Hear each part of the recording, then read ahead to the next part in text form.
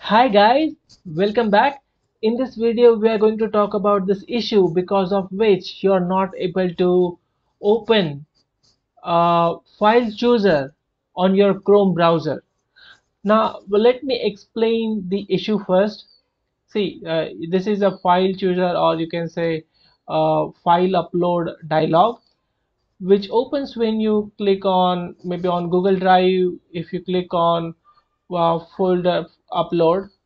This is applicable for all the website okay? So uh, the, because of this particular issue you are not able to open this dialog. And if you open the same web page on different browser safari or firefox or edge it opens fine. But only you, you see this issue only on chrome so i'll talk about so see i'm not able to reproduce this issue because it is uh, uh, uh, difficult to do it. Uh, but i can tell you how to solve that. So if you are facing this issue currently uh, just open a new tab and type this chrome colon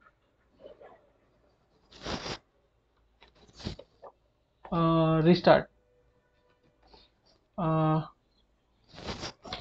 okay this one. And say enter. It will restart your browser. And once it is restarted your issue will be solved automatically.